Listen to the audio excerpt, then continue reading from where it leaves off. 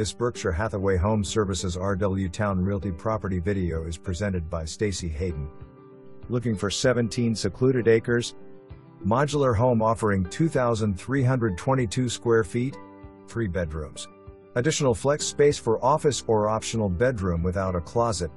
Great floor plan. Seller inherited the property and makes no representation on condition. Being sold as is all items left in home and on property convey with sale. Buyer to perform all due diligence at their expense. Seller will have power on through walkthrough. There may be an old underground oil tank but exact location is not known.